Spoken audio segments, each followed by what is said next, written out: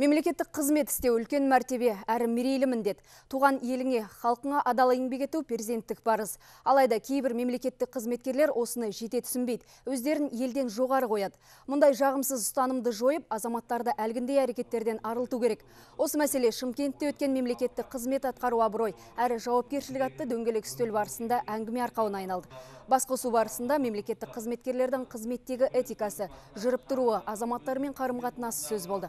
Арнамыз кодексінде көрсетілген талаптарға сай болу барша қызметтегі тұлғаларға ортақ тәртіп екендігі айтылды.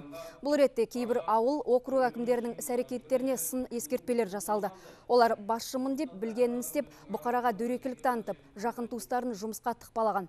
Елге қызмет ету жолында енді ғана аяқ басқан жастар мұндайды қайталамас үшін оларды әуел бастан тәрбиелеу керек. Осыған көңіл бөлу маңызды мәселе болмақ.